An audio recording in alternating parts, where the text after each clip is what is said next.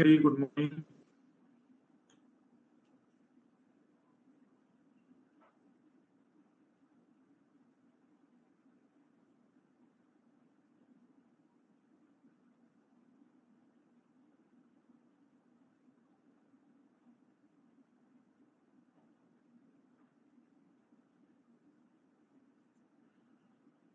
तो बताइए कहाँ तक आखिरी बात हमने कंप्लीट कर ली थी?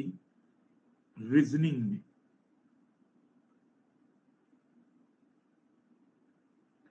डायरेक्शन टेस्ट में टाइप फाइव क्लॉक वाले सवाल कंप्लीट हुए थे हमारे। क्लॉक एंड डायरेक्शन यही था। हाँ दो सवाल बहुत है, उत्तर निकालने का तरीका सीखना था हमें। एक सुई में जो परिवर्तन, दूसरी सुई में भी। वही परिवर्तन आएँगे। ठीक है? तो टाइटल डालिए अब आप लोग। शेडो कंसेप्ट शेडो कंसेप्ट परछाई की संकल्पना।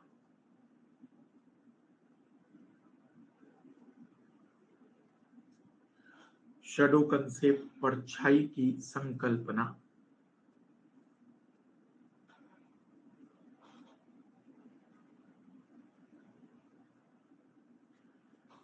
देखो, कहीं पर भी जो शेडो बनती है मतलब जो परछाई बनती है, वह केवल मतलब सनलाइट की डायरेक्शन पर डिपेंड करती है। आप कहाँ पर खड़े हैं, इससे कोई मतलब नहीं। मतलब मैं ये कहना चाह रहा हूँ, मान लो कि सन यहाँ पर है तो अब आप चेहरा इधर करके खड़े रहो, इस ओर चेहरा करके खड़े रहो और चेहरा करके खड़े रहो, या इस ओर चेहरा करके खड़े रहो। ये बात तय है कि आपकी जो शेडो बनेगी, वो सनलाइट के डायरेक्शन के ठीक अपोजिट बनेगी। इसका मतलब आपका फेस डिसाइड नहीं करता शेडो को, बल्कि केवल सनलाइट डिसाइड करता है कि आपकी कि आपकी शेडो कहाँ बनेगी। दैट मीन्स मॉर्निंग के टाइम में मॉर्निंग के टाइम में, सुबह के समय में एक व्यक्ति कहीं भी खड़ा हो, क्योंकि सूर्य ईस्ट डायरेक्शन में होता है तो इसका मतलब कि उसकी शेडो वेस्ट में बनेगी। और इवनिंग के समय में क्योंकि सन वेस्ट में होता है तो उसकी शेडो ईस्ट में बनेगी। नॉर्थ और साउथ में शेडो कभी नहीं बनती। उत्तर और दक्षिण में कभी परछाई नहीं बन सकती। तो पहला पॉइंट लिखेंगे किसी भी व्यक्ति की परछाई केवल सूर्य की दिशा पर निर्भर करती है। Shadow of a person only depend on the direction of sun किसी भी व्यक्ति की परछाई केवल सूर्य पर निर्भर करती है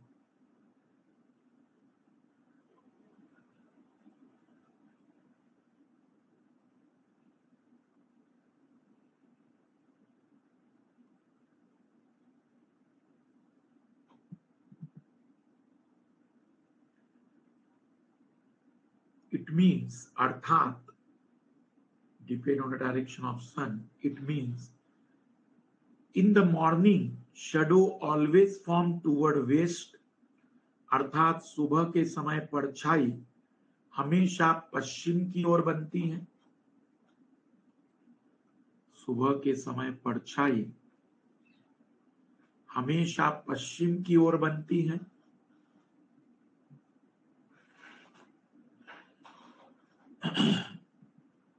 while at the time of evening जबकि शाम के समय पर छाई,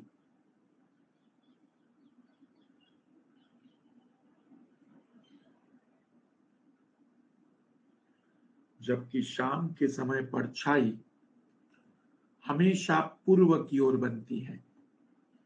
While in the evening shadow always form toward east. जबकि शाम के समय परछाई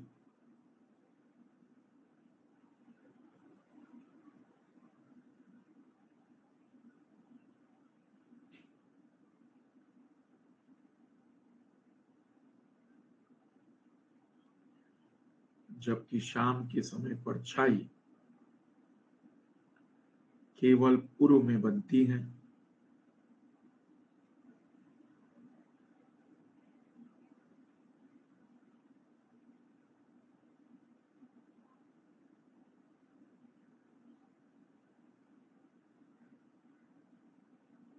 पर देखना, ये तब भी आपको उत्तर निकालने में मदद नहीं कर पाएगा। उसका कारण यह है क्योंकि एग्जामिनर जो प्रश्न पूछता है उसमें वो क्या करता है कि एक व्यक्ति की जो शेडो है, परछाई जो है, वो उसके राइट में बन रही है या उसके लेफ़्ट में बन रही है। तो ऐसी सिचुएशन में हमें डायरेक्शन निकालनी पड़ती है। तो मैं क्या मान लेता हूँ, मैं सपोज़ कर लेता हूँ, मैं ये मान लेता हूँ कि व्यक्ति का चेहरा हमेशा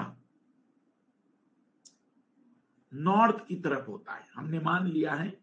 अगर साउथ होगा तो हम देख लेंगे उसका उल्टा।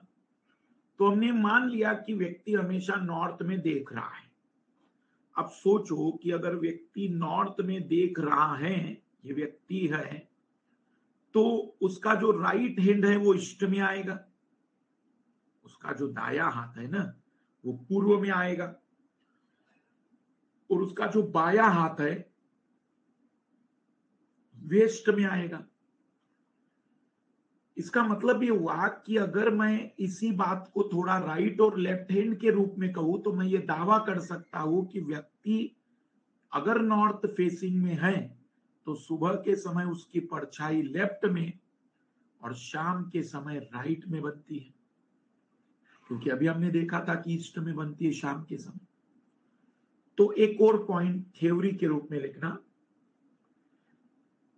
in the morning shadow always form toward left सुबह के समय परछाई हमेशा बाई ओर बनती है। In the morning shadow always form toward left सुबह के समय परछाई हमेशा बाई ओर बनती है।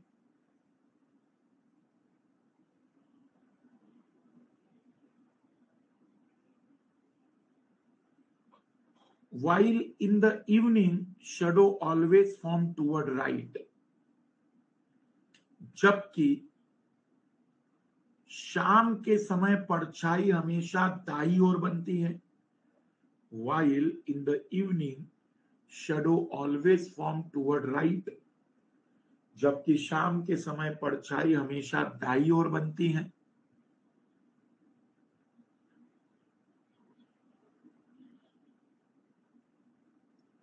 while in the evening shadow always form toward right? जबकि शाम के समय पर छाई हमेशा दाई ओर बनती है।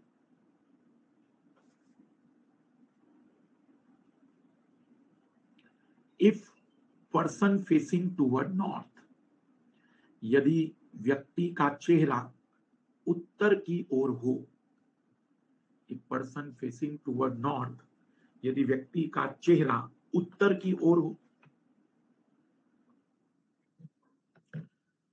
यदि व्यक्ति का चेहरा उत्तर की ओर हो,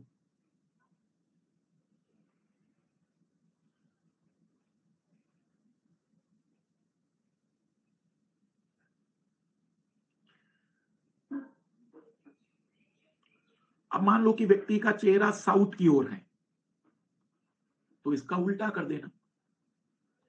अगर नॉर्थ की जगह साउथ में होगा तो ठीक उल्टी बात, अब उसको लिखने की ज़रूरत नहीं। लेकिन यदि व्यक्ति का चेहरा वेस्ट में या ईस्ट में होता है, पश्चिम या पूर्व में होता है तो या तो परछाई पीछे बनेगी या सामने बनती है, लेकिन इसके अलावा परछाई दाएँ बाएँ नहीं बनेगी। तो ये जो दाएँ बाएँ का खेल है, ये तभी होगा जब व्यक्ति या तो नॉर्थ में देख रहा होगा या साउथ में। ईस्ट और वेस्ट में जब व्यक्ति के चेहरे होते हैं तो परछाई या तो सामने बनेगी या पीछे बनेगी, इसके अलावा परछाई कहीं और थोड़ी बन सकती है। तो दो बातें आपको याद रखनी है। दो बातें क्या याद रखनी है?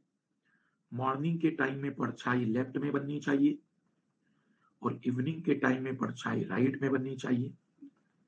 अगर ऐसा हुआ तो व्यक्ति नॉर्थ में देख रहा है। अगर इसका उल्टा हुआ तो व्यक्ति साउथ में देख रहा है।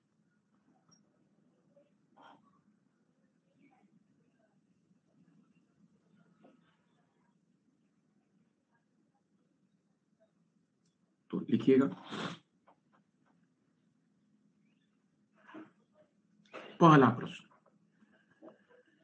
A person start reading newspaper in the morning एक व्यक्ति सुबह के समय अखबार पढ़ रहा है। A person start reading newspaper एक व्यक्ति सुबह के समय अखबार पढ़ रहा है। If he shadow his right यदि उसकी परछाई उसके दाई ओर बन रही हो if his shadow his right यदि उसकी परछाई उसके दाई ओर बन रही हो then in which direction he facing तब वह किस दिशा में देख रहा होगा? तब वह किस दिशा में देख रहा होगा?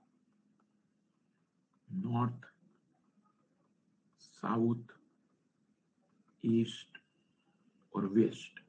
मैं गलत उत्तर लगाऊँगा ताकि मुझे वो गंदा लाल समझ में आए कि कौन है। अद्भुत। कार्तिक, रिया, खुशी, मंजू, खुशबू, इन्हें भी कलेक्टर बनना है। सौम्या, जबकि मास्टर बोल चुका कि या तो उत्तर नॉर्थ हो सकता है या साउथ, ईस्ट और वेस्ट में जब चेहरा होगा तो परछाई या तो सामने बनती है या पीछे। दाएँ बाएँ का तो खेल ही नहीं है। इन लोगों को आप सभी लोग ध्यान से देखिए। ये भी वो महान लोग है जिन्हें कलेक्टर बनना है। नरेश, निशु सभा इन्हें भी सेंट्रल ब्यूरो अभी से सीबीआई का नाम लिख दिया है और डायरेक्शन ढूंढ नहीं पा रहे हैं। नाम सीबीआई का, सेंट्रल ब्यूरो ऑफ़ इंडिया। और वो मूर्ख आदमी डायरेक्शन नहीं ढूंढ पा रहा है। शब्द पर गौर करेंगे।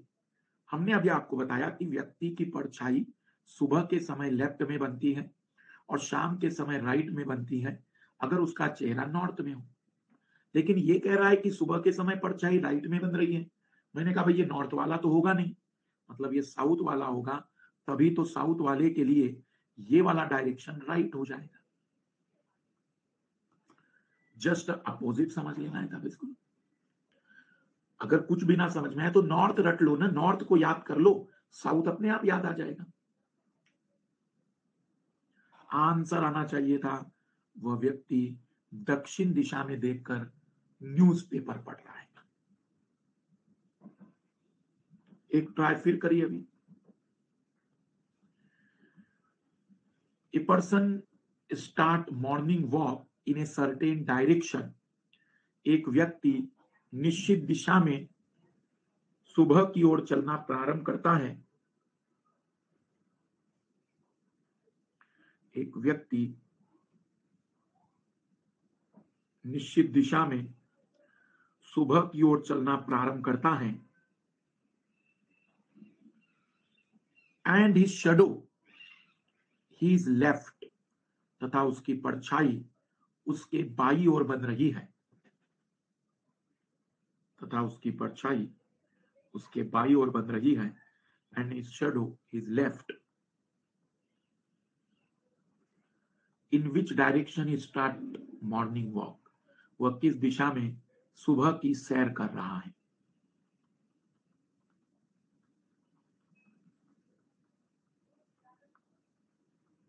मैं गलत आंसर लगाऊँगा ताकि मैं उन महान शख्स को ढूंढ सकूँ। देखो, पहले वाले तो एक बार समझ में भी आता है कि गलती कर सकते हैं। पर ये दूसरी बार गलती करने वाले तो अद्भुत शब्द मिलिए इनसे। इनके नाम हैं सौरभ, नीतीश, निशा रेनोबा सूरज, सौम्या। इन्हें भी कलेक्टर बनना है। और ये दूसरी बार भी गलत आंसर निकालते हैं। इन्हें भी महान बनना है। तो कह सकते हैं कि ये भी वो महान शख्स है। इन्हें भी कलेक्टर बनना है। मास्टर कई बार बता रहा है कि सुबह के समय, सुबह के समय, सुबह के समय परछाई हमेशा लेफ़्ट में बनती है, लेफ़्ट में बनती है, लेफ़्ट में बनती है। सुबह के समय परछाई, अगर व्यक्ति का चेहरा उत्तर की ओर हो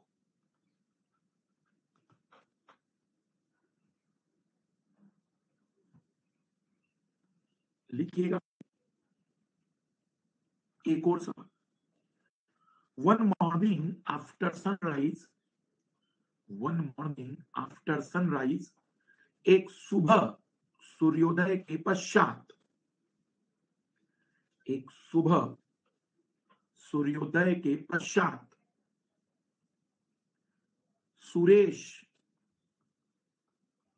एक खंबे के सामने खड़ा है। सुरेश एक खंबे के सामने खड़ा है। One morning after sunrise Suresh was standing facing a pole Suresh was standing facing a pole Suresh एक खंबे के सामने खड़ा है। The shadow of the pole the shadow of the pole the shadow of the pole fell exactly to his right खंबे की परछाई ठीक उसके दाई ओर बन रही है। खंबे की परछाई ठीक उसके दाई ओर बन रही है। To which direction was he facing तब वह किस दिशा में देख रहा है?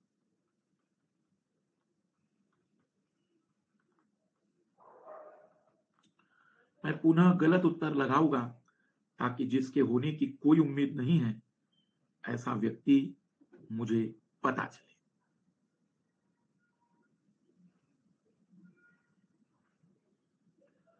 मामली अभिनव, सुमन, शिशु, निशु, अंकित, इन्हें भी कलेक्टर बनना है। ज्योति, ये भी चाहते हैं कि एक बंगला हो, एक गाड़ी हो और सरकार मुझे पूरे ज़िले की ज़िम्मेदारी सौंपे, जो कि एक प्रश्न के उत्तर में ही तीसरी बार के बाद भी गलती कर रहे हैं। बस मुझे इतनी सी बात बता देना। खंबे की परछाई और उसकी परछाई एक ही डायरेक्शन में होगी या अलग अलग खंबे की परछाई और उसकी परछाई एक ही डायरेक्शन में होगी या अलग अलग नुसरत कह रही अलग अलग ऐसा कभी होगा क्या? इसे गंदे लाल लाली है ऐसा कभी होगा क्या कि वो खंबे के पास खड़ा है? सूरज इधर है। सूरज ने कहा खंबा तुम्हारी परछाई इधर। इसकी परछाई मेरी तरफ़। ऑब्वियसली दोनों की परछाई एक ही डायरेक्शन में बनी होगी। तो अगर खंबा उसकी दाई और परछाई बना रहा है तो उसकी परछाई भी दाई और ही बनी ना?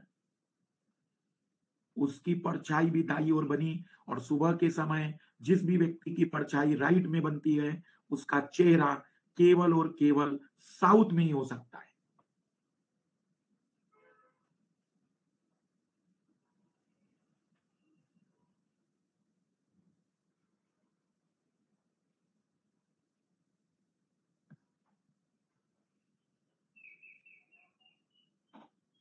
आखिरी सवाल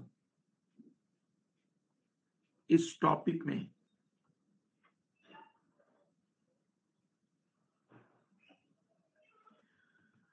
वन इवनिंग बिफोर सनसेट एक शाम सूर्यास्त से पूर्व वन इवनिंग बिफोर सनसेट एक शाम सूर्यास्त से पूर्व two friends Sumit and Mohit were talking to each other two friends, Sumit and Mohit, were talking to each other face to face. एक शाम सूर्यास्त से पूर्व दो मित्र, सुमित और मोहित, एक दूसरे की ओर चेहरा करके बात कर रहे हैं। सुमित और मोहित एक दूसरे की ओर चेहरा करके बात कर रहे हैं। Talking to each other face to face if Mohit shadow was exactly to his right यदि मोहित की परछाई उसके दाई ओर बन रही हो यदि मोहित की परछाई उसके दाई ओर बन रही हो if Mohit shadow was exactly to his right which direction was Sumit facing तब सुमित किस दिशा में देख रहा होगा? तब सुमित किस दिशा में देख रहा होगा?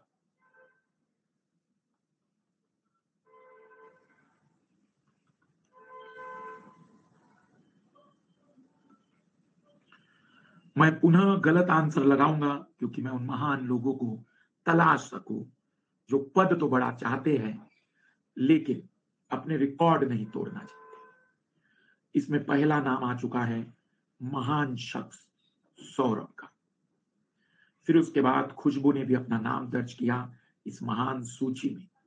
फिर गुलशन, मेहनाज, इन्हें भी कलेक्टर बनना है देखो जरा मैं इतने सवालों में दो दो उत्तर गलत देने वालों में, ये लोग हैं अग्रणी। सौरभ, खुशबू, निशो, ये वो महान शख्स है जो एक ही गलती को दो बार करते और चाहते पूरा जिला संभालने का मौका दे दिया जाए। सोचो क्या होगा ज़िले का, क्या होगा उस ज़िले के लोगों का। दो लोग हैं,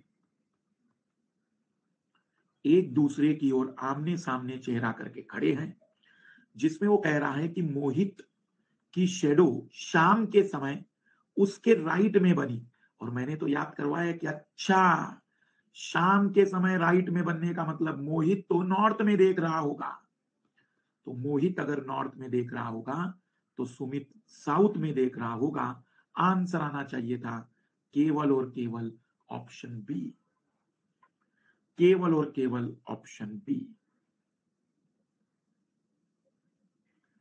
इससे ज़्यादा सवाल नहीं हो सकते मुझसे अब, क्योंकि बहुत सिंपल टॉपिक है ये, और आपको दो पॉइंट रटे होने चाहिए, क्योंकि व्यक्ति हमेशा नॉर्थ में देखते हुए हम ये मान लेंगे।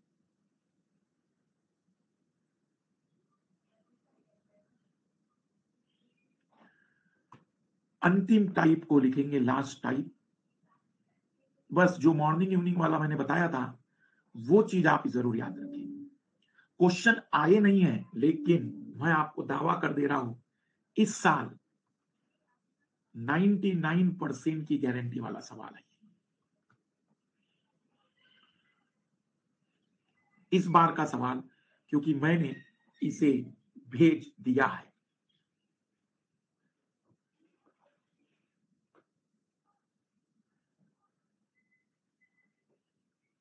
नहीं, मैं पेपर नहीं बनाता, बिल्कुल उसमें कोई डाउट ही नहीं। लेकिन अब इतने वर्षों से हूँ तो कुछ तो परिचय निकल ही आते हैं। सना कह रही यदि वो कोई व्यक्ति पूर्व में देखे, इमेजिन करो, कोई व्यक्ति अगर पूर्व में देखे तो वो भी कोई सवाल होगा। पूर्व में देखे तो इसका मतलब या तो शेडो सामने बनेगी या पीछे बनेगी।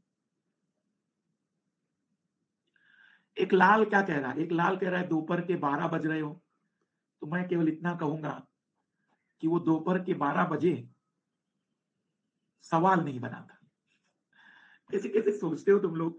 मतलब कहाँ कहाँ चले जाते हो?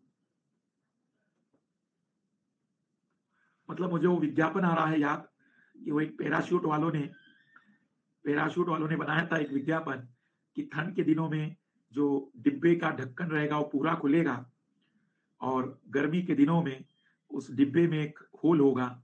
वहाँ से ऑयल आ जाएगा तो एक व्यक्ति पूछता है, फिर बरसात में क्या करेंगे?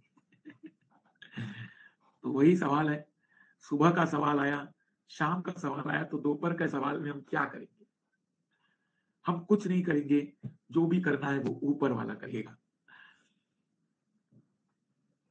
आइए जीवन पर लौटते हैं और बातचीत करते हैं। आखिरी type type seven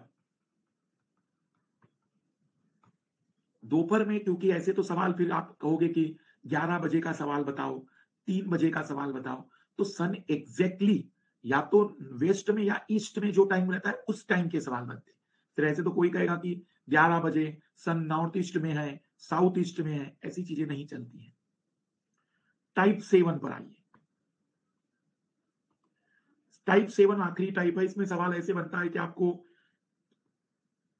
initial direction निकालनी पड़ेगी। इनिशियल डायरेक्शन निकालनी पड़ेगी। फाइनल डायरेक्शन आपको दी जाएगी। सिंपल सवाल है, मेरे नियमों पर आधारित रहेगा। लिखना a person start travelling in a certain direction एक व्यक्ति निश्चित दिशा में चलना प्रारंभ करता है। A person start travelling in a certain direction एक व्यक्ति निश्चित दिशा में चलना प्रारंभ करता है। A person start travelling in a certain direction एक व्यक्ति निश्चित दिशा में चलना प्रारंभ करता है। Turn two times right and one times left दो बार दाएँ और एक बार बाएँ मुड़ता है। Turn two times right and one times left दो बार दाएँ और एक बार बाएँ मुड़ता है। नाउ ही फेसिंग टूवर्ड अब वह किस दिशा में देख रहा होगा? Sorry now he facing toward east अब यदि वह पूर्व दिशा में देख रहा हो now he facing toward east अब यदि वह पूर्व दिशा में देख रहा हो in which direction is start travelling तब उसने चलना किस दिशा में प्रारंभ किया होगा? In which direction is start travelling तो उसने चलना किस दिशा में प्रारंभ किया होगा? पहला सवाल है, सीखने पर ध्यान देंगे, पहले मैं समझा रहा हूँ, फिर अगले से आप ट्राई करना। देखो, एक प्रैक्टिकल करें हम लोग। एक प्रैक्टिकल करें। एक व्यक्ति नॉर्थ में जा रहा था, फिर उसने राइट टर्न लिया और वो ईस्ट में पहुँच गया। वो ईस्ट में पहुँच गया। अब इमेजिन करो कि वह वापिस उसी जगह आना चाहता हो। तो जहाँ उसने राइट लिया था, वो वापिस आते समय वहाँ लेफ़्ट लेता है और एंटी क्लॉकवाइज अपने इनिशियल पॉइंट पर पहुँचता है। इसका मतलब ये हुआ कि जाते समय व्यक्ति जहाँ जहाँ जो टर्न लेगा, आते समय उसने वहाँ उल्टे टर्न लिए होंगे। आते समय वहाँ वो उल्टे टर्न लेगा। ये लॉजिक समझ में आ रहा है? तो मैं क्या कर रहा हूँ कि उसको फाइनल से इनिशियल चलाऊँगा और वो जहाँ पहुँच जाएगा वो जहाँ पहुँच जाएगा, मैं मानूँगा कि वो उसकी इनिशियल डायरेक्शन होगी। मैं मान लूँगा कि वो उसकी प्रारंभिक दिशा होगी। तो सबसे पहले तो मैं अपने नियम लगाऊँगा, मैंने जो पढ़ाया था आप लोगों को। जब भी कोई व्यक्ति राइट और लेफ़्ट टर्न लेता है एक एक तो डायरेक्शन बदलती नहीं। इक्वल राइट टर्न और इक्वल लेफ़्ट टर्न के कारण डायरेक्शन नहीं बदलेगी। तो एक राइट और एक लेफ़्ट कैंसिल हो गया। बच गया एक राइट टर्न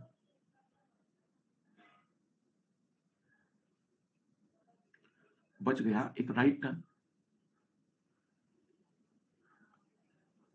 तो मैं कहूँगा, भाई, जाते समय राइट लिया है। आते समय तो लेफ़्ट लेगा ही। कहाँ से? ईस्ट से। महोदय, वो ईस्ट से लेफ़्ट लेगा, ईस्ट से।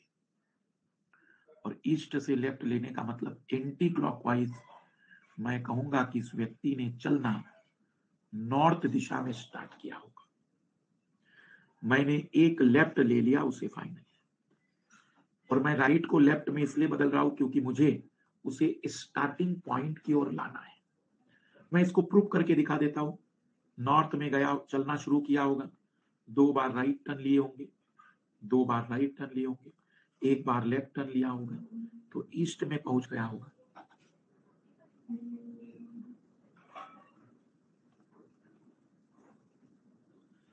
फिर रिपीट कर रहा हूँ मैं सवाल का आंसर दो राइट और एक लेफ़्ट लिया था। मैंने कहा कि ये कैंसिल कर दिया। वो एक राइट ले रहा है। तुम उसे वापस ला रहे हो। तुम एक लेफ़्ट ले लो। जहाँ भी पहुँचा था, उससे एक लेफ़्ट ले लो। तुम्हें पता चल जाएगा, वो कहाँ से चलना स्टार्ट कर रहा था। ट्राई करके देखो। ट्राई करके देखो बोला। लिखना। A person start travelling in a certain direction एक व्यक्ति निश्चित दिशा में चलना प्रारंभ करता है।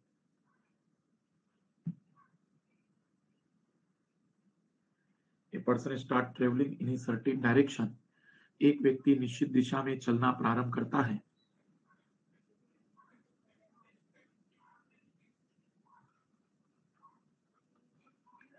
He turned two times right and three times left. वह दो बार दाएँ और तीन बार बाएँ मुड़ता है He turned two times right and three times left.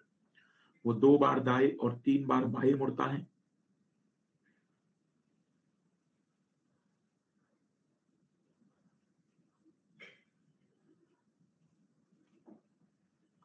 now he facing toward south अब वह दक्षिण दिशा में देख रहा है। Now he facing toward south अब वह दक्षिण दिशा में देख रहा है।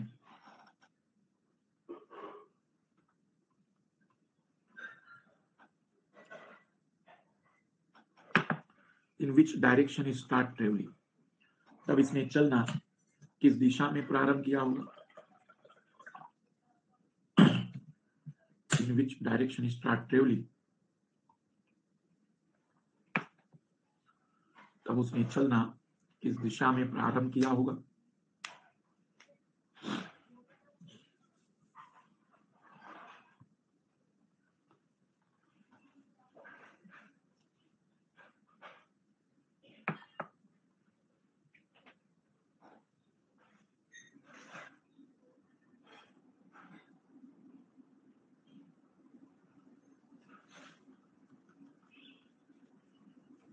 नॉर्थ साउथ ईस्ट वेस्ट मैं वो आंसर लगा रहा हूँ जो कभी हो ही नहीं सकता है, ताकि उन महान शख्स को ढूंढू जो फिर भी लगा रहे वही आंसर।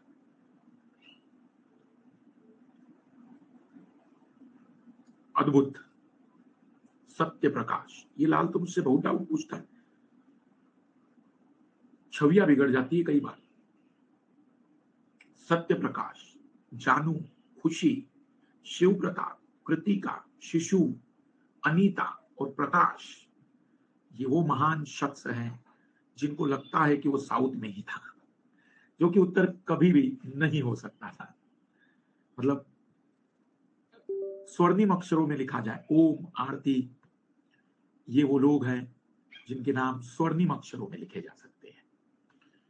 मतलब तुक्का भी लगाएँगे तो ये तो नहीं लगाएँगे कि वो साउथ में गया है तो ऑब्वियसली राइट लेफ़्ट अलग अलग है। एक लेफ़्ट जाते समय लिया, एक राइट आते समय लेंगे। साउथ से एक राइट दिला दो बस उस व्यक्ति को। डायरेक्टली पता चल जाएगा कि वह व्यक्ति वेस्ट दिशा में चलना प्रारंभ कर रहा होगा। तो ये भी वो महान शख्स है जो लोग नहीं जान पाए दूसरी बात आपको मैंने कहा कि जितने उसने जाते समय टर्न लिए थे, बस फेस बताएँगे हम लोग। फेस, उसका चेहरा बता सकते हैं। कि उसने चलना कहाँ से स्टार्ट किया होगा। एक लेफ़्ट बचा तो उसको एक राइट में बदल देंगे। क्यों राइट में बदल रहे हैं? क्योंकि उसको हम फाइनल से इनिशियल लेकर आ रहे हैं।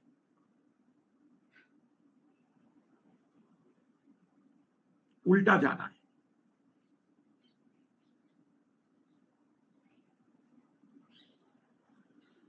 हम उसकी इनिशियल डायरेक्शन की बात कर रहे हैं। इनिशियल डायरेक्शन कंसेप्ट बड़ा सिंपल सा है कि हम उसको इनिशियल डायरेक्शन पे लाना चाहते हैं और इसीलिए हम उसको फाइनल से उल्टे टर्न देकर पहुंचाना चाहते कि वो कहाँ था। इसी के साथ डायरेक्शन नाम का यह अध्याय समाप्त हो जाता है। अब मैं पहले जरा एक बार जान लू कि कितने टॉपिक अपने बचे हैं। मैं पढ़ते जा रहा हूँ, मुझे यस और नो जो शुरुआत से क्लास कर रहे हैं।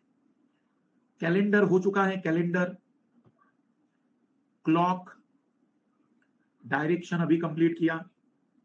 अरिथमेटिक रीजनिंग, अंक गणितीय तर्क शक्ति।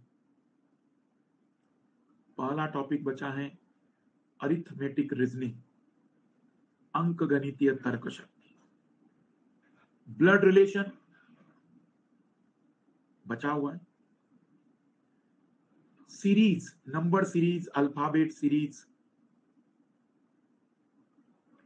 coding decoding कूट भाषा। Coding decoding seating arrangement puzzle logical Venn diagram Venn diagram ranking सब हो गया है। Syllogism statement conclusion assumption argument course of action हो चुके हैं ये। सिलोजिज्म कथन, तर्क, कार्रवाई, धारणा, पासा डाइस फिर काउंटिंग ऑफ़ फिगर चित्रों की गणना। कितने ट्राइंगल कितने स्क्वायर मिसिंग टर्म छूटा हुआ पद। क्यूब घन और घनाभ मिरर एंड वाटर इमेज वो हमने मिरर और वाटर जो किया है, वो तो घड़ी में किया था। ये अलग टॉपिक है पूरा। तो लिख दीजिए, ये छह टॉपिक बचे हैं। इस टॉपिक को लगभग दो से तीन दिन लगेंगे। दो दिनों का टॉपिक है। दो दिनों का टॉपिक है। एक दिनों का टॉपिक है। मतलब तीन और चार, सात और तीन, दस क्लास नेक्स्ट टेन क्लास में रीजनिंग खत्म हो जाएगा। और फिर हम आ जाएँगे पहले डाटा सफिशंसी फिर डाटा इंटरप्रिटेशन फिर कॉम्प्रीहेंशन पर।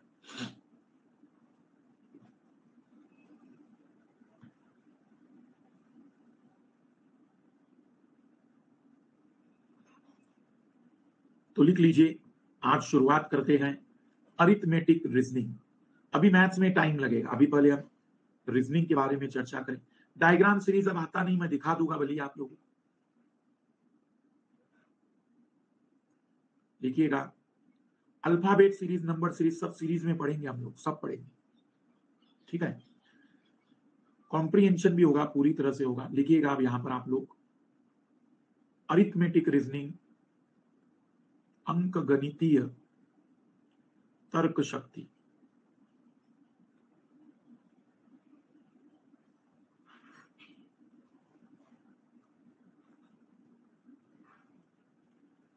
याद रखिएगा कि ये मैथ्स और रीजनिंग का संगम है।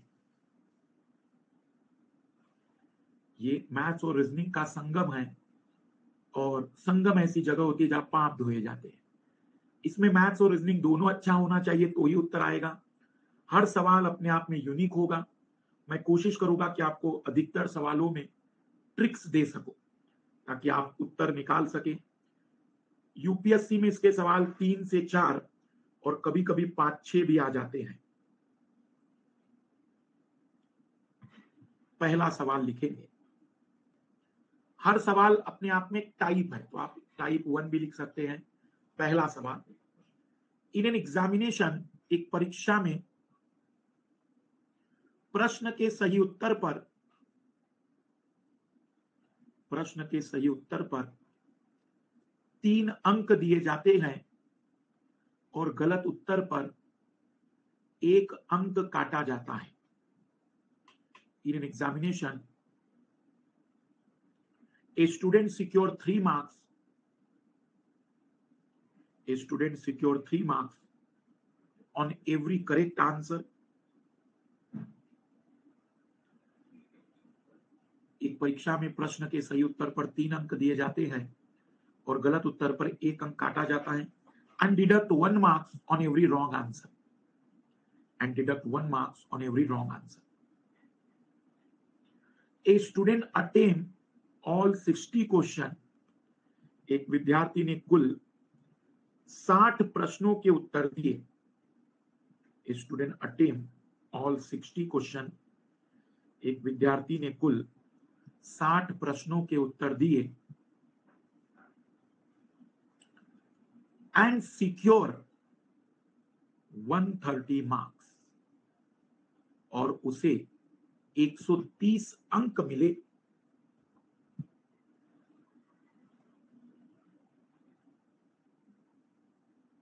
एक सौ बीस लिखना एंड सिक्योर 120 मार्क्स उसे कुल 120 अंक मिले।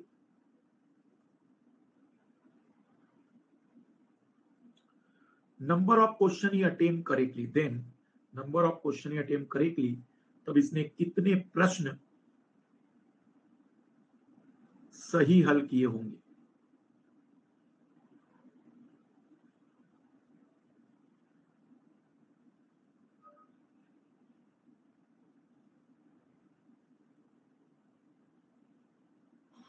Number of question he attempt correctly तब इसने कितने प्रश्न सही हल किए होंगे।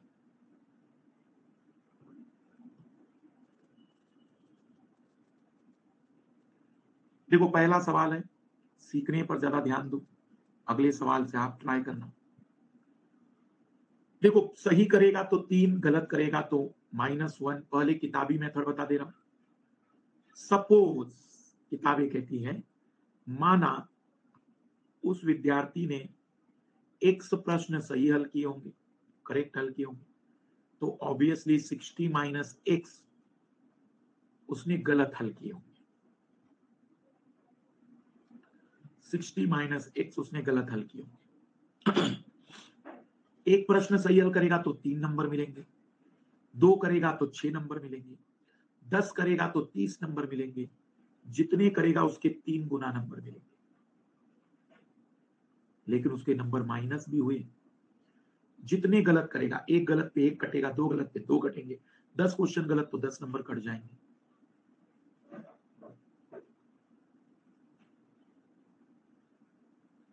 हम कहेंगे टोटल 130 अंकों से 120 अंकों से मिले हैं। 120 सॉल्व कर देंगे हम इसे। Minus sixty minus minus plus तो सिक्सटी को उधर भेज दो। ये हो जाएगा फोर एक्स।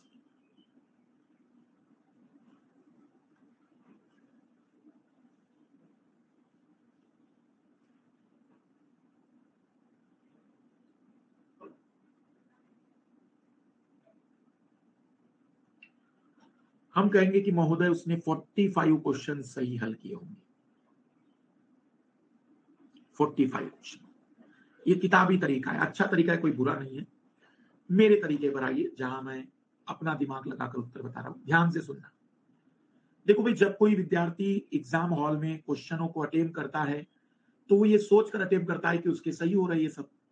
सब सही लगा रहा है वो। ये गरीब भी सोचकर आया और घर पे सोचने लगा कि 60 प्रश्न अटेम्प किए हैं 180 नंबर आएँगे मेरे तो। वो एक 180 सोच बैठा है। लेकिन जब उसने पेपर चेक किया तो उसे पता चला कि उसका एक प्रश्न तो गलत हो गया। अगर उसका एक प्रश्न गलत हो गया, ये उसको पता चला तो कितने नंबर का नुकसान हुआ? कितने नंबर का? बहुत बढ़िया बहुत बढ़िया। शिवानी, अंकिता, चार नंबर का नुकसान था, चार का। जो वो तीन दिमाग में सोच बैठा था, तीन नंबर के आएँगे, वो तो गए। एक नंबर और काटा जाएगा एक्स्ट्रा उस बिचारे के चार नंबर का नुकसान होगा। अगर उसके दो प्रश्न गलत हुए तो कितने का नुकसान होगा? आठ का। किसी ने कहा कि उसके चालीस नंबर काटे गए, चालीस नंबर काट दिए। किसी ने कहा कि उसके चालीस नंबर काट दिए गए। तो आप कहेंगे कि सर उसके दस प्रश्न गलत हुए थे। बट ये गरीब तो कह रहा था कि 120 ही मिले। मतलब 60 नंबर काटे गए, चार के हिसाब से 15 क्वेश्चन गलत करके आया ये गरीब। इसका मतलब 45 प्रश्न सही हल किए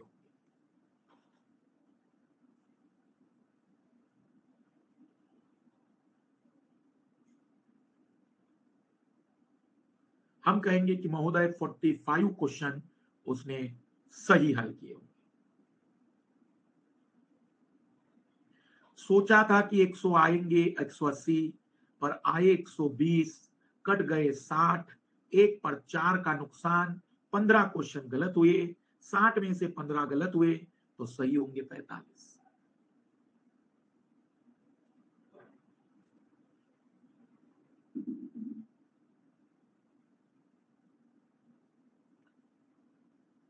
और मान लीजिए तीसरा मेथड दे रहा हूँ मैं, और एक मेथड दे देता हूँ। मान लीजिए एग्ज़ाम हॉल में मेमोरी लॉस मतलब पेपर देखते ही दिमाग से सारी चीज़ें गायब, पूरा ब्लैंक। तो भी हिम्मत नहीं हारेंगे तब हम अंतिम प्रयास करेंगे बाय ऑप्शन अगर ऑप्शन 45 मान लो ए है तो 45 के हिसाब से उसके नंबर आने चाहिए थे 135 पर क्योंकि माइनस मार्किंग है तो इसका मतलब 15 गलत किए तो 15 नंबर कट गए। क्या 120 नंबर की बातचीत थी? अगर हाँ तो हमने जो बाय ऑप्शन सोचा, वो सही सोचा है। तो अब आप पर डिपेंड है। आप ये भी तरीका अपना सकते हैं, ये मेरा तरीका है, और ये तो सदा बाहर तरीका है, भी कुछ भी हो जाए, हमें तकलीफ़ नहीं आएगी। जो भी, देखो मेरे लिए तो तीनों ही मेथड अच्छे हैं, क्योंकि मुझे तीनों आते हैं। आप डिसाइड करो आपके लिए जो बेटर है। ठीक है?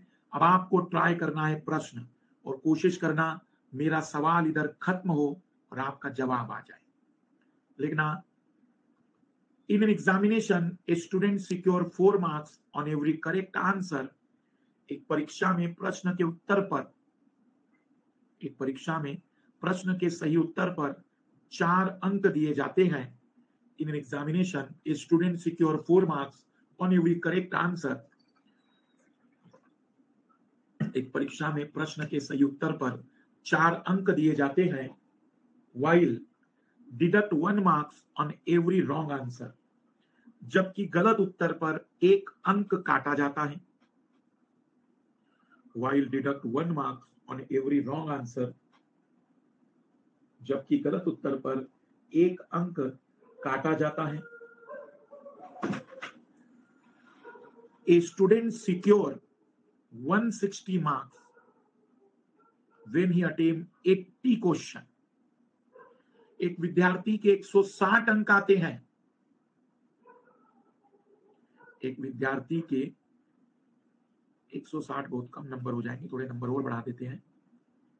एक विद्यार्थी के 240 अंक आते हैं। एक विद्यार्थी के 240 अंक आते हैं। जब वह साठ, जब वो अस्सी प्रश्न अटेम करता है। एक विद्यार्थी के एक सौ, दो सौ चालीस नंबर आते हैं। दो सौ चालीस नंबर आते हैं। जब वो अस्सी प्रश्न अटेम करता है student secure two forty marks when you attempt 80 questions. Then, number of question he attempt correctly. तब इसने कितने प्रश्न सही हल किए होंगे।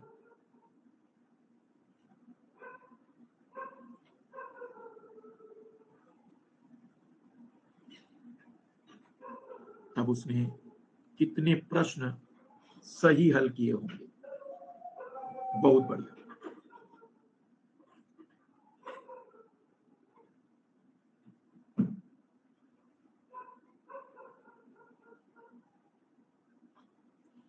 Number of question he attained correctly.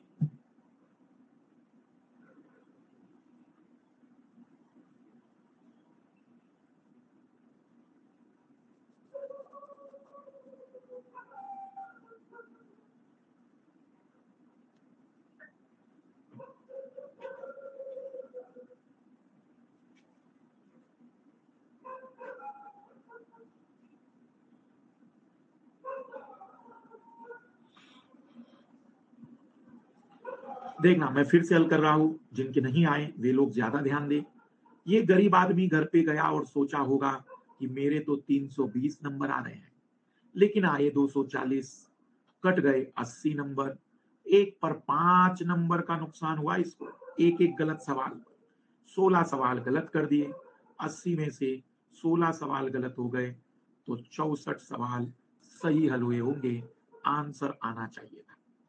और मुझे नहीं लगता है कि अब ऐसे सवालों में कहीं कोई दिक्कत आ सकती, इसलिए हम प्रैक्टिस अब ज़्यादा नहीं करेंगे। अंडरस्टूड है कि हाँ ऐसे सवाल हमें करने पड़ते हैं।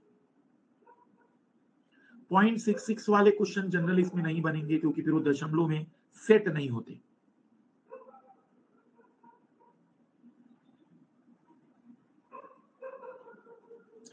पाँच से डिवाइड इसलिए किया, क्योंकि चार नंबर तो पहले छीन लिए गए। जो सोच रहा था कि चार आएँगे, वो तो गए। और एक एक्स्ट्रा नुकसान करना पड़ेगा। एक माइनस हो जाएगा ना डिडक्ट हो जाएगा ना।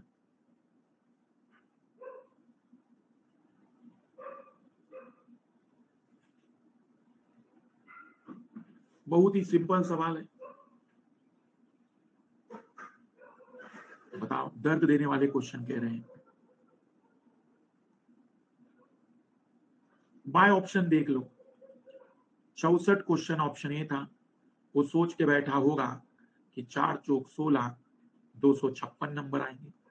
लेकिन अस्सी में से चौसठ गलत हो गए। सोलह नंबर कट गए। जो आपको बेटर लगे वो आप यूज़ करिए, क्योंकि तो मुझे तो आंसर चाहिए बस। नहीं मेथड से नहीं करेंगे। एक्स वाले मेथड से नहीं करेंगे। बहुत लेंदी मेथड है। कैसा लॉजिक लगाते हो? इतना सिंपल तरीका बताया और फिर भी आप कह रहे हो कि सर ये कठिन है तो ये तो अद्भुत है आपके लिए।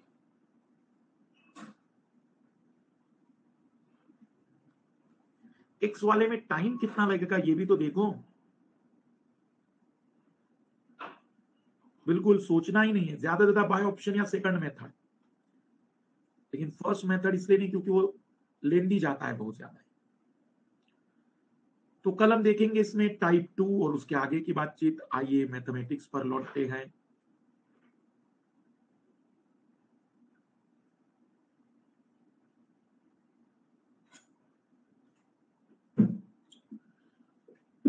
तो मैथमेटिक्स में लौटने से पहले मैं फिर रिपीट कर दूँ। आज यूपीएससी के फॉर्म आएँगे। तो जैसे ही फॉर्म आएगा तो हम आ जाएँगे यूट्यूब पर। आपको सारी बातें बता देंगे। रणनीति से लेकर आपका O T R one time registration जो भी आपके कास्ट सर्टिफिकेट एज क्राइटेरिया है, सब चीज़ें, वो क्लास जब आएगी तो आप तैयार रहिएगा। Let's crack UPSC CSC Hindi पर। जिसमें सारी चीज़ हम पूरी तरह से समझाएँगे। पुनः, बाकी इकोनॉमिक सर्वे का कल का क्लास न देखा हो तो देख लीजिएगा। Let's crack UPSC survey UPSC CSC Hindi पर सर्वे की क्लास और आज बजट है तो बजट की क्लास भी हम चर्चा करेंगे। तो मैथ्स में हम लोग टाइम एंड वर्क के आखिरी जो टाइप वन में लेवल आठवां है, उस पर पहुँच रहे हैं नौवा लेवल जो सबसे टिपिकल टाइप है। समझ में न भी आए तो छोड़ देना, समझ में आए तो ही करना। वैसे ज़रूरी नहीं कि यही टाइप आएगा। मैथ्स में अभी तक हमने जो टाइम वर्क में सवाल देखे थे, उसमें ये नया टाइप इसलिए है, यहाँ आखिरी लेवल है।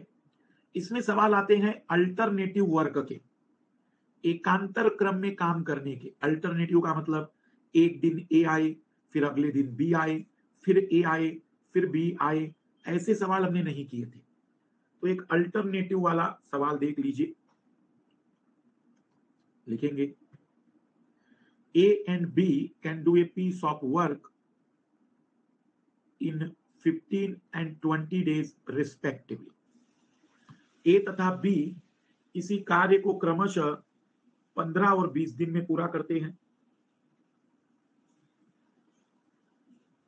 ए तथा बी किसी कार्य को क्रमशः 15 और 20 दिन में पूरा करते हैं। They start work alternatively and work start by A इन्होंने एकांतर क्रम में कार्य करना प्रारंभ किया। They start work alternatively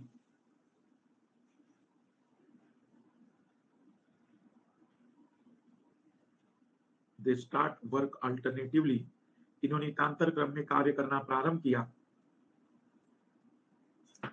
And work start by A और कार्य का प्रारंभ ए ने किया। Then this work then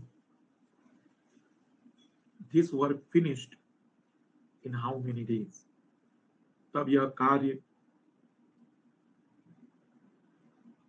कितने दिन में पूरा होगा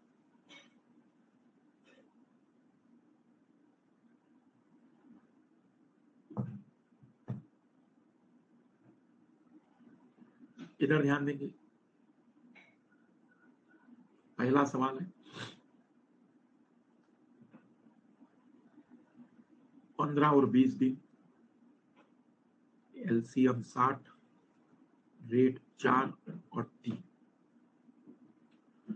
देखो, अब अल्टरनेटिव वर्क का मतलब ये समझेंगे कि पहले दिन ए आएगा।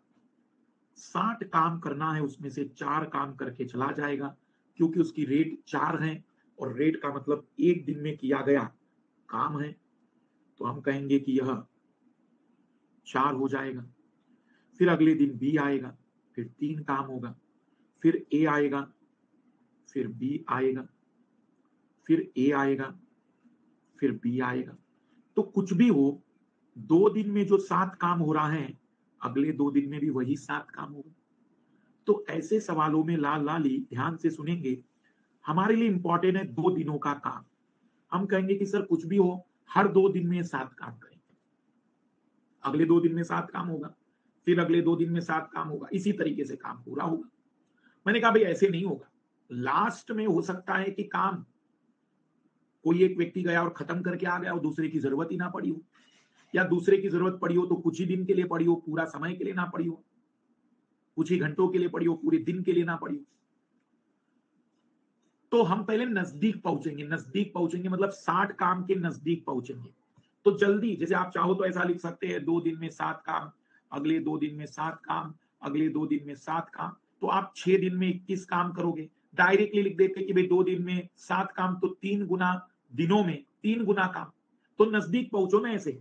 नज़दीक पहुँचने का तरीका है, साठ से कोई छोटा नंबर ढूंढो जो सात से डिवाइड होता हो सेवन से डिवाइड होता हो सिक्सटी का स्मॉलेस्ट नंबर सिक्सटी से स्मॉलर नंबर जो सेवन से डिवाइड होता और आपने कहा सर फिफ्टी सिक्स मैंने कहा, कितनी बार मल्टीप्लाई करना पड़ेगा? आठ बार। इसका मतलब कि साथ साथ ऐसा काम आठ बार करना पड़ेगा, आठ बार करना पड़ेगा तो सोलह दिनों में काम हो जाएगा इतना। सोलह दिनों में ये काम रहेगा। सोलह दिनों में काम हो गया पर अभी काम पूरा नहीं हुआ। अभी तो छप्पन ही काम हुआ है, जबकि काम करना है साठ। मैंने कहा, भाई, काम बचा कितना है? तो काम बचा है चार। मैंने कहा, किसकी बारी है? तो भाई, पहली जो शुरुआत करेगा ऑड डेज़ पर पहले दिन, तीसरे दिन, पाँचवें दिन, सातवें दिन, पहला व्यक्ति आएगा। तो पहले की बारी थी, काम बचा था चार, उसकी रेट भी चार की ही निकल गई। तो हमने कहा कि अगले एक दिन में काम पूरा हो जाएगा। इसका मतलब महोदय अगले एक दिन में बेचारा ए जाकर काम पूरा करेगा। साठ काम करने में कुल सत्रह दिन लग जाएँगे, सत्रह दिन। साठ काम करने में कुल सत्रह दिन लगेंगे। कोई बात नहीं, मैं जानता हूँ चेहरे भयानक किए जा सकते हैं, क्योंकि कठिन सवाल है। सभी के मस्तिष्क में प्रवेश नहीं करेगा तनाव ना लो। मैं रिपीट कर दे रहा हूँ इसे शॉर्ट में फिर से। ऐसे सवालों में आप दो दिन के काम पर फोकस करोगे वो उनके रेट के जोड़ के बराबर ही आएगा, जो उनकी रेट होगी उनके बराबर। फिर दूसरी स्टेप आप नज़दीक पहुंचोगे कि नज़दीक का काम कितना हुआ। फिर एक एक को भेजोगे वापिस। शुरुआत जो करेगा पहले वो जाएगा। फिर एक एक को भेजकर बचा हुआ काम पूरा करोगे और देखोगे कि क्या आंसर आएगा। मैं तुक्का लगाने का ट्रिक्स बता रहा हूँ। देखो, जो भी उत्तर होगा ना, ये कंफर्म है, वो पंद्रह और बीस के बीच का ही कोई आंसर होगा। जो भी उत्तर होगा ना वो पंद्रह और बीस के बीच का आंसर होगा। मान लो कि ऑप्शन ऐसे दिए होते, सत्रह, बाईस, बारह और मान लेते चौदह तो हम कहेंगे कि भाई फिर तो उत्तर डायरेक्टली लगा दो। पर अगर ऑप्शन ऐसे गंदे दिए जाए, सत्रह, सोलह सही दो बटे तीन, अठारह सही एक बटे तीन, उन्नीस तो फिर तो आपको केवल अपनी मेहनत पर यकीन करना होगा। तो नोट कर लीजिए आप दो दो दिन के हिसाब से मैंने नज़दीक पहुँचाया आपको, फिर धीमे धीमे घबराओ नहीं। अभी एक दो सवाल होल कर, हल करेंगे तो शायद मस्तिष्क खुलेगा। अभी नोट करिए बस, अभी आपको ट्राई करना है।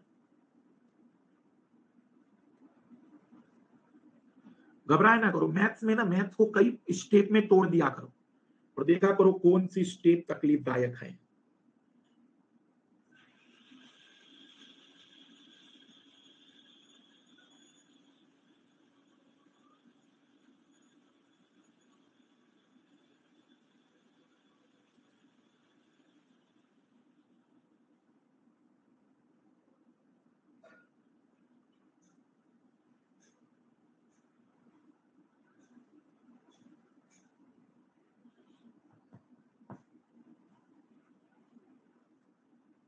लिखना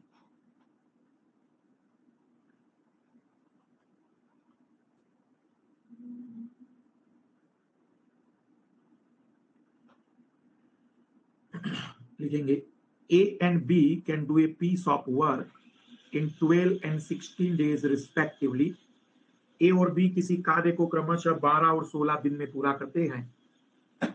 A and B can do a piece of work in 12 and 16 days respectively A और बी किसी कार्य को क्रमशः 12 और 16 दिन में पूरा करते हैं।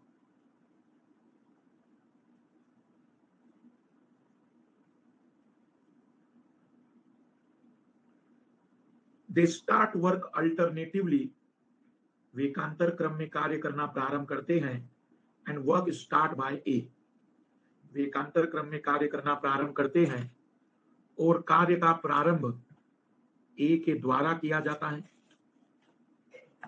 And work start by A और कार्य का प्रारंभ ए के द्वारा किया जाता है। And work start by A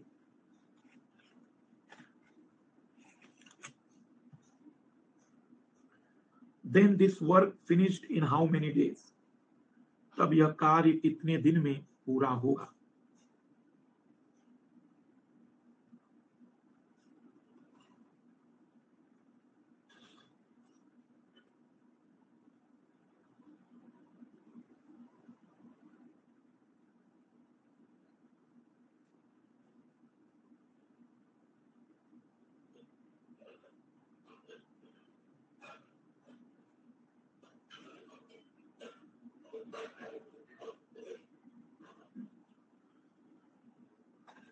मैं एक गलत उत्तर लगा रहा हूँ और ऐसा गलत जो कभी हो नहीं सकता, ताकि मुझे पता चले कि वो लाल जो मेरी बातों पर ध्यान नहीं दे रहा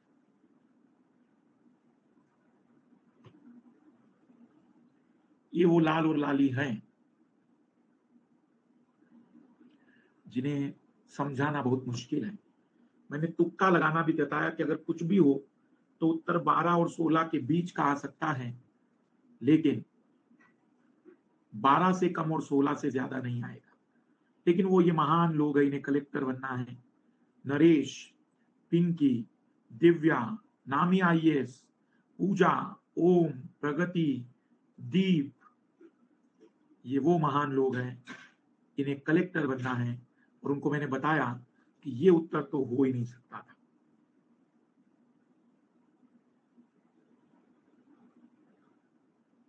आर टी डब्ल्यू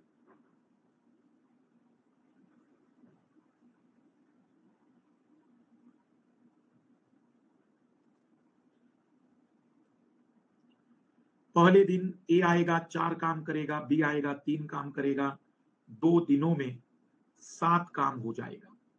नज़दीक पहुँचने का काम करते आप तो बयालीस काम छह बार मल्टीप्लाई से आता, इसका मतलब कि बारह दिनों में बयालीस काम हो जाता। पर काम पूरा नहीं हुआ। मैंने कहा भी काम पूरा नहीं हुआ तो पूरा करो। आपने कहा, ठीक है। फिर ए को भेजा। ए चार के हिसाब से क्या पूरा छह काम चार से करवाओगे? पूरा छह काम ए से ही कराओगे? तो हम कहेंगे नहीं, क्योंकि वो तो एक ही दिन काम करेगा। फिर चार काम होगा, फिर वो भाग जाएगा। फिर बी को बुलाया। अब काम बचा था केवल दो, और वो कह रहा है कि मैं तो तीन करूँगा। मैंने कहा भाई पूरा मत करो। जितना हो सकता है उतना खत्म कर लो। तो दो काम तीन के हिसाब से दो बटे तीन दिन में हो जाएगा। तो बारह दिन तो हो चुके थे। तेरह तेरह सही दो बटे तीन दिनों में अब ये काम कंप्लीट हो जाएगा। तेरह सही दो बटे तीन दिनों में ये काम कंप्लीट हो जाएगा। एक ट्राई और करके देख लो। कठिन सवाल है, स्किप भी कर सकते हो आप। A and B can do a piece of work in 12 and 15 days respectively A और बी किसी कार्य को क्रमशः 12 और 15 दिन में पूरा करते हैं। A and B can do a piece of work in 12 and 15 days respectively if they work alternatively,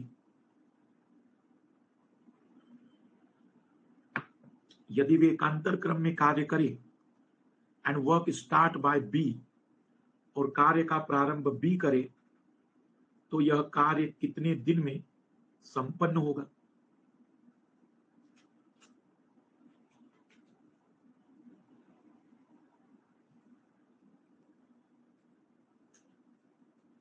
तो यह कार्य कितने दिनों में संपन्न होगा?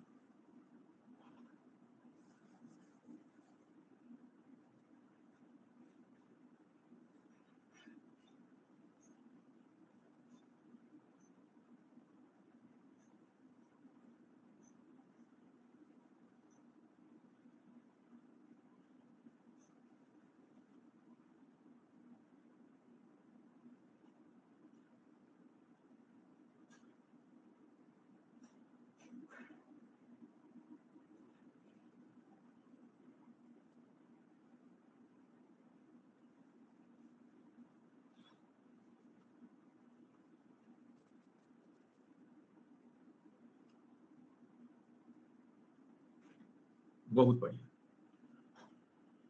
जिन लोगों ने भी सी आंसर लगाए हैं बहुत बढ़िया।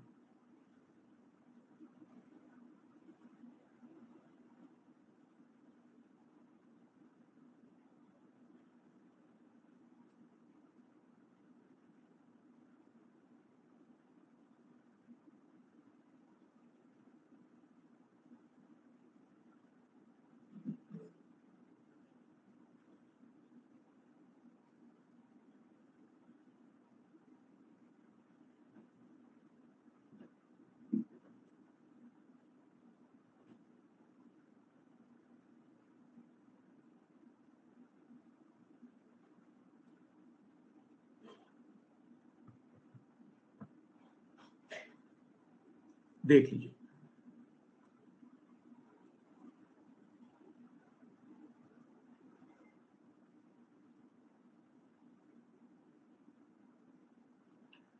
दो दिनों में नौ का नज़दीक पहुँच जाएँगे। 54 जो नौ से पूरा डिवाइड होगा। बारह दिनों में 54 काम। अब बारी बी की आएगी, शुरुआत बी ने की है। वो एक दिन में चार काम करके चला जाएगा। अभी भी काम पूरा नहीं हुआ। तेरह दिनों में अट्ठावन काम ही हो पाएगा। तेरह दिनों में अट्ठावन काम हो गया। अब ए आया। पाँच के हिसाब से मात्र दो काम करना था। तेरह सही, दो बटे पाँच दिनों में अब ये काम खत्म हो जाएगा। तो इतनी डाइवर्सिटी के सवाल हैं। टाइम एंड वर्क में one man person based question होगा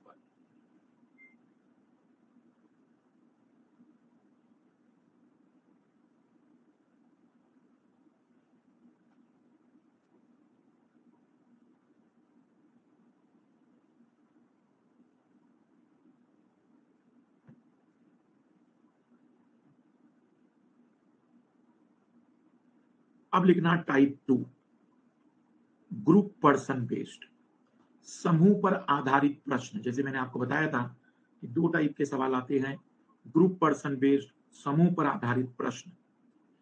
इसमें दो तरीके के फार्मूले हैं। पहला, पहले ग्रुप और दूसरे ग्रुप के द्वारा किया गया काम वर्क सेम हो।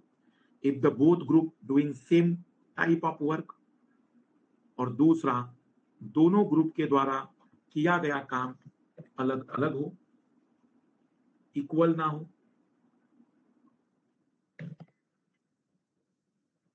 अलग अलग हो इक्वल ना हो।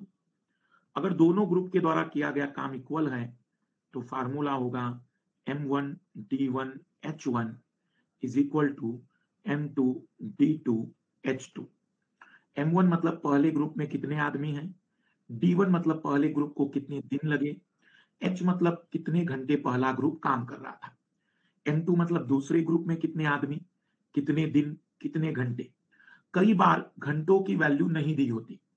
अगर नहीं दी है तो फिर फार्मूला हो जाएगा M one D one is equal to M two D two घंटे वाली चीज़ हटा देना।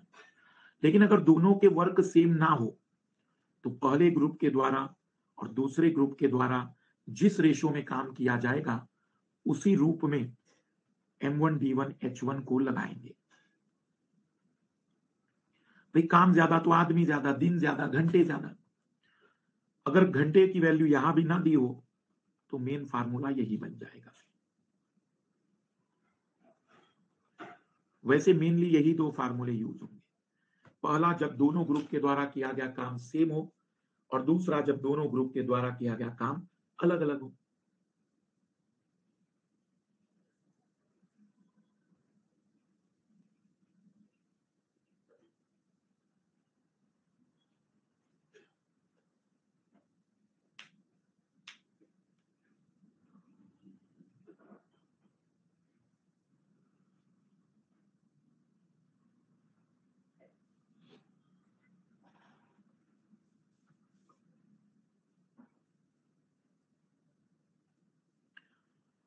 लिखेगा पहला प्रश्न।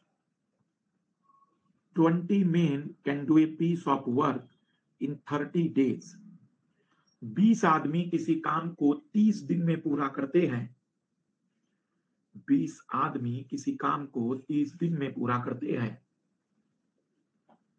Then twenty four men finish the same work in how many days तो चौबीस आदमी उस काम को कितने दिन में पूरा करेंगे? Then 24 men can do the same work in how many days?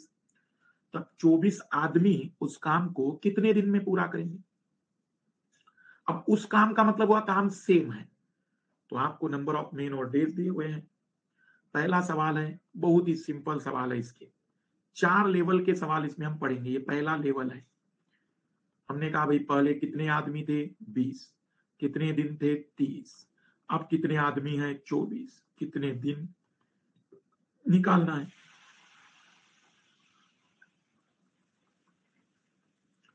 चार से कैंसिल किया, छह बार, पाँच बार। छह से कैंसिल किया, पाँच बार। अब ये काम पच्चीस दिन में पूरा हो जाएगा। यदि आप चौबीस आदमी काम करने आ रहे हो तो। अब ये काम पच्चीस दिन में पूरा हो जाएगा। आप ट्राई करिए।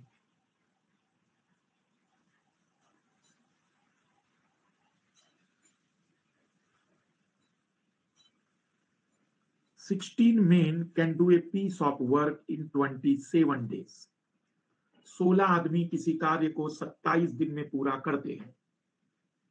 Sixteen men can do a piece of work in twenty seven days सोलह आदमी किसी कार्य को सत्ताईस दिन में पूरा करते हैं। Then thirty six men finish the same work in how many days तब 36 आदमी इस काम को कितने दिन में पूरा करेंगे? तब 36 आदमी इस कार्य को कितने दिन में पूरा करेंगे?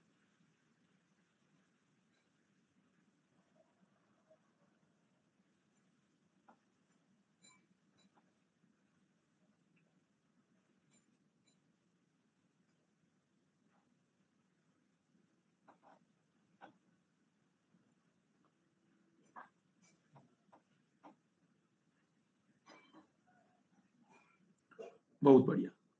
हो जाएँगे ऐसे सवाल, बहुत ही इजी हैं। सोलह आदमी, सत्ताईस दिन, छत्तीस आदमी, कितने दिन?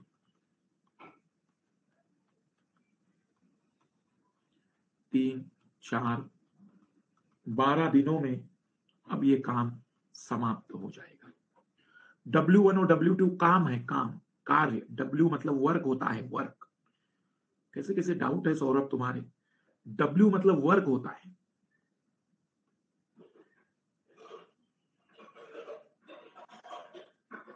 लास्ट वाले का 25 था, इस वाले का 12 है।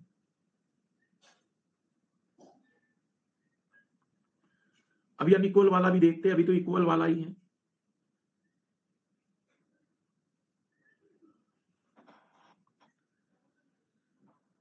ठीक है? हाँ कोई बात नहीं। मेरे हिसाब से स्किप कर दो उसको तो। देखो, भी मेरा काम होता है कि मैं पूरे टाइप बताऊ।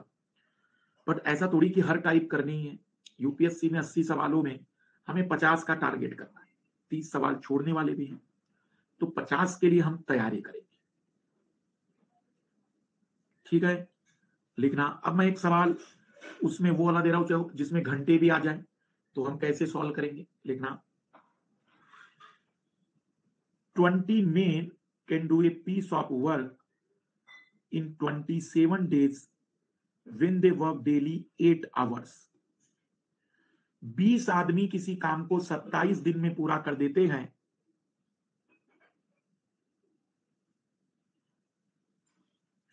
बीस आदमी किसी कार्य को सत्ताईस दिन में पूरा कर देते हैं, जब वो प्रतिदिन आठ घंटे काम करते हैं। When the daily work eight hour 20 men can do piece of work in 27 days when they work 8 hours daily then 36 men finish the same work in how many days if they daily work 6 hour तब 36 आदमी इस कार्य को कितने दिन में पूरा करेंगे तब 36 आदमी इस कार्य को कितने दिन में पूरा करेंगे? यदि वह प्रतिदिन छह घंटे काम करे। यदि वह प्रतिदिन छह घंटे काम करे।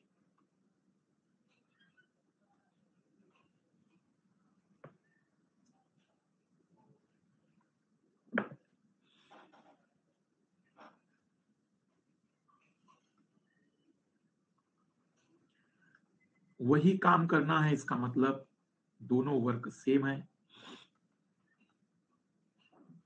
बीस दिन, बीस आदमी, सत्ताईस दिन, आठ घंटे, छत्तीस आदमी। कितने दिनों में काम पूरा होगा?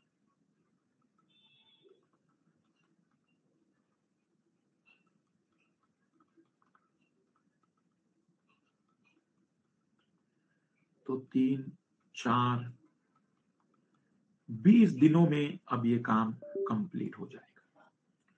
अब एक सवाल वो देख लेते हैं, जहाँ दोनों वर्क अलग अलग हो। वर्क अलग अलग का मतलब होता है, वो कहेंगे ऐसे सवाल कि बीस आदमी चालीस पेड़ काट देते इतने दिन में तो अस्सी पेड़ काटने के लिए कितने आदमी लगेंगे?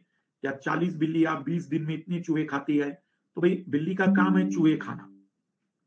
फिर सवाल ये भी आ सकता है कि किसी भोजनालय में चालीस लोगों के लिए इतने दिनों का खाना है तो इतना खर्चा लगता है, पचास लोग अगर आ जाए और इतना खर्चा करना हो तो कितना खाना? तो जो खर्चा होगा वो वर्क हो जाएगा एक तरीके से। लिखना, प्रश्न।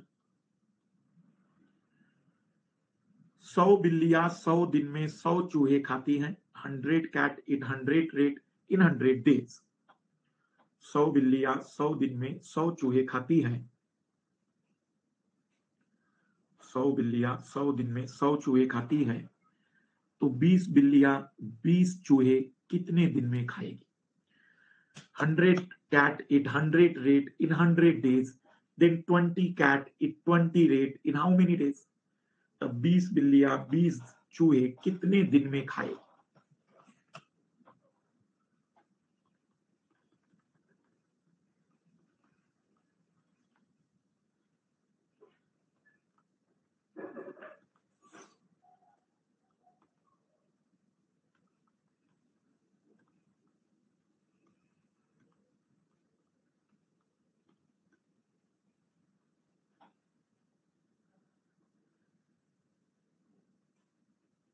अद्भुत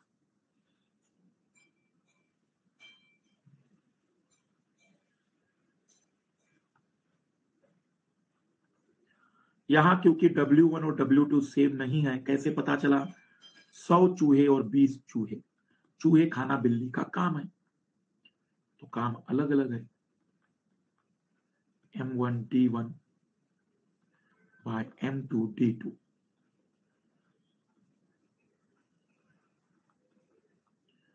सौ दिन, सौ बिल्लिया, सौ दिन। बीस बिल्लिया कितने दिन? कैंसल हो जाएगा तो आंसर आएगा, बीस बिल्लिया, बीस चूहे अब सौ दिन में खाएगी, जो कि बहुत कम लोगों का आंसर था। ऐसे सवालों में आपको फार्मूले की मदद लेनी चाहिए। एग्जैक्ट आंसर तक पहुँच पाएँगे। तो ये होता है type one type level one level one में इतनी वेराइटीज हैं।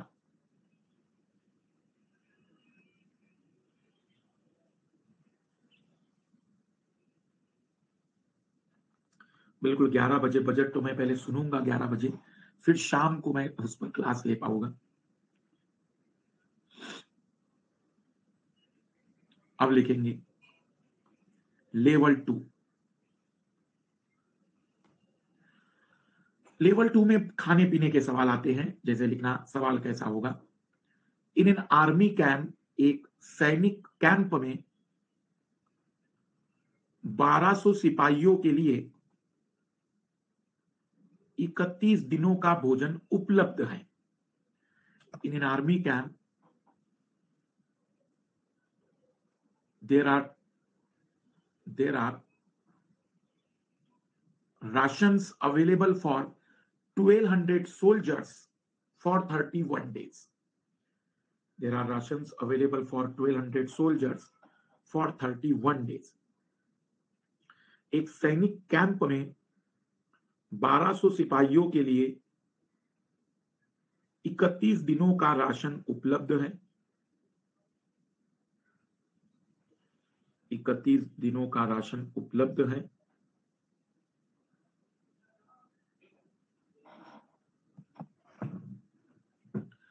But after 28 days, 800 soldiers leave the camp.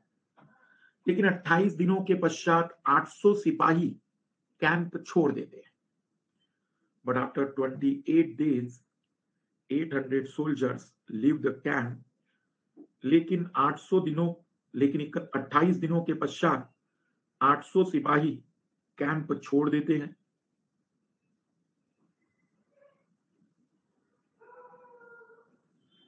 Then remaining food is available for remaining soldiers for how many days? Then remaining food is available for remaining soldiers for how many days? तब यह शेष भोजन शेष सिपाहियों के लिए कितने दिनों तक उपलब्ध रहेगा तब यह शेष भोजन शेष सिपाहियों के लिए कितने दिनों तक उपलब्ध रहेगा? पहला सवाल है लेवल टू में, मैं सॉल्व कर रहा हूँ। दो तरीके हैं, पहला किताबी तरीका। भाई, यहाँ पर पहले फ़ूड का मतलब होता है वर्क वही सेम तो नंबर ऑफ़ मेन और नंबर ऑफ़ डेज़ यही फ़ूड के बराबर होगा। तो किताबें कहती कि भी माना कि प्रतिदिन एक सोल्जर एक प्लेट खाना खाता हो तो इसका मतलब उस आर्मी कैंप में डेली 1200 प्लेट खाना खाया जाता होगा और कुल इकतीस दिनों तक खाना खाया जाएगा। इसका मतलब कुल सैतीस हज़ार दो सौ प्लेट खाना था। कुल thirty seven thousand two hundred plate वहाँ फ़ूड रहा होगा।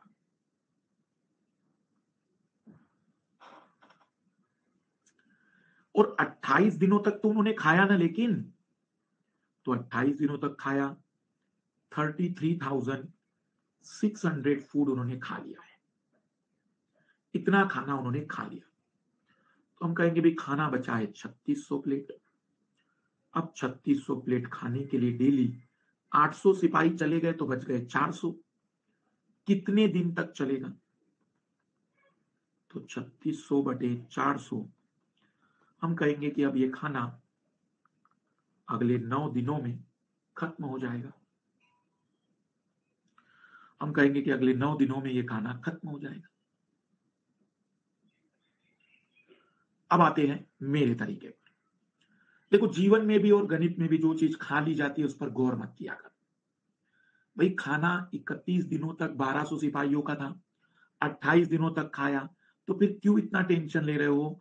1200 लोगों का 29, 30 और 31 तीन दिनों का खाना बचा है 3600 प्लेट खाना बचा है 400 के हिसाब से नौ दिन में खत्म हो जाएगा।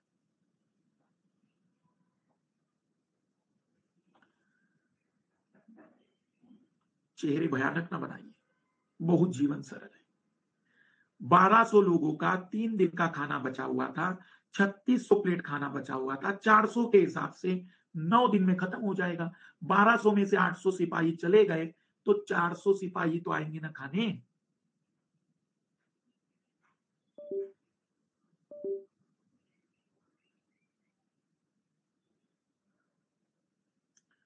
क्यों निकाले? कितना खाना था, कितना खा लिया।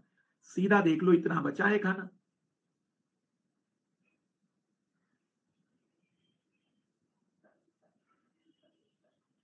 ट्राई करिए बोला आप लोग। तीन दिन कैसे? इकतीस दिनों का खाना था, अट्ठाईस खा लिए, बचे कितने दिन का? तीन दिन का खाना बचा है।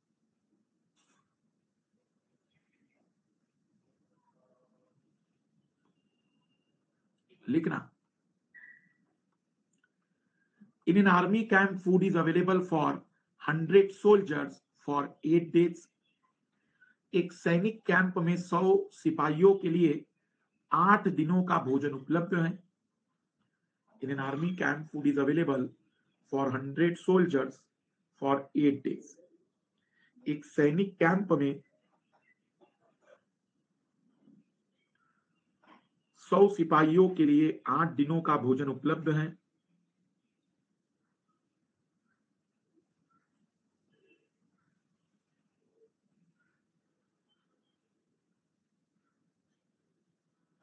सौ सिपाहियों के लिए आठ दिनों का भोजन उपलब्ध है।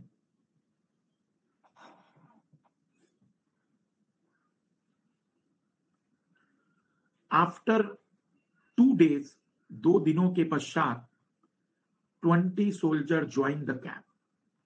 दो दिनों के पश्चात बीस सिपाही बीस सिपाही नए जुड़ते हैं। After two days twenty soldier new soldier join the camp. दो दिनों के पश्चात 20 नए सिपाही समूह में जुड़ते हैं। देन समूह में जुड़ते हैं। Then this food now is available for how many days अब यह भोजन कितने दिनों तक चल पाएगा?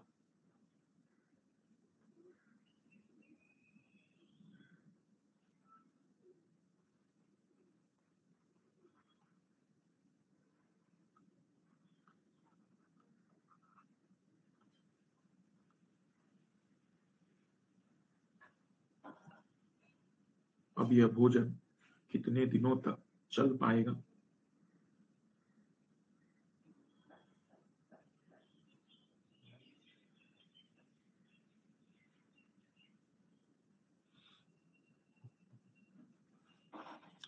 छह उत्तर तो आ ही नहीं सकता है, क्योंकि अब तो बीस नए सिपाही आ गए हैं।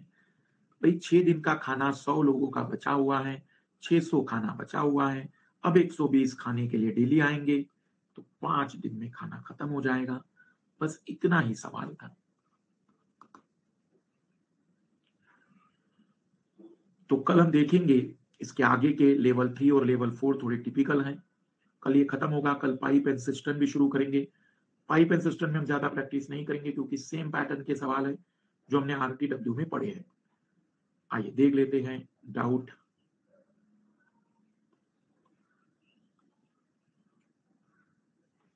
हेलो बताओ सौरभ क्या दुख आ रहा है सर साउथ फेसिंग में सर ईस्ट वेस्ट सेम रहेगा सिर्फ़ राइट लेफ़्ट बदल जाएगा। ईस्ट वेस्ट तो हमेशा सेम रहता है। साउथ फेस हो या किसी का कहीं भी फेस हो। तुम ये सोचो कि कभी दिशाएँ बदलती होगी? नहीं सर आदमी बदलता है। आदमी भी नहीं बदलता है। आदमी का चेहरे की डायरेक्शन बदलती है। सर सर और अगर ईस्ट वेस्ट लेंगे तो शेडो मतलब फ्रंट या बैक पे बनेगा। हाँ। Okay sir. और सर एक क्वेश्चन था सर।